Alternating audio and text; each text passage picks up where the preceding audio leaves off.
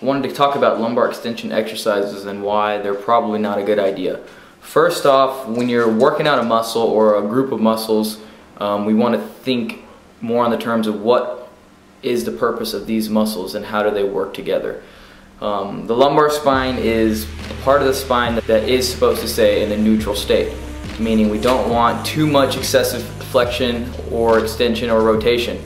Um, the lumbar spine is your lower back, um, comprised of several vertebrae, and it's meant to be stable.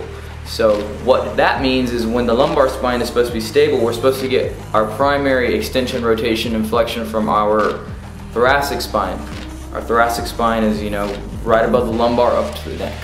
So that being said, when we're doing lumbar extension exercises, we're generally doing something that is not, that part of the spine is actually meant to do. It's meant to stabilize, not move a whole ton. Um, the lumbar spine should generally only move um, about 20 to 30 degrees in extension and about 40 to 60 degrees in flexion. So the reason I hate and kind of cringe at people who are using 45 degree um, back extension exercises, you'll see people go, you know, flip all the way down to those extension exercises to a 90 degree, um, sometimes even further than 90 degrees, and then they'll extend all the way up way past 20 to 30 degrees. So that is actually putting your spine at great risk for impingement, um, throwing your back out basically. So we don't want to work the spine in that way. Let's stop looking or stop using um, lumbar extension exercises just because they burn.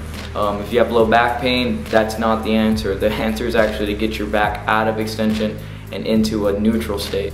So I'm definitely not promoting lumbar extension exercises by any means if you couldn't tell by now, but uh, a way to validate whether or not you should be doing any type of extension work would be to go up against the wall like this. Um, just grab your fist, um, heel should be against the wall, head against the wall, and you can fit your fist all the way through where your back, your lower back should be touching the wall or you know have you know minimal space, then you're already in excessive lumbar extension. So these exercises are definitely not going to be a good idea for you. Something that would be a better idea for you would be to do um, a plank variation or some type of dead bug where you're really working on keeping the rib cage down and keeping your spine in a neutral state.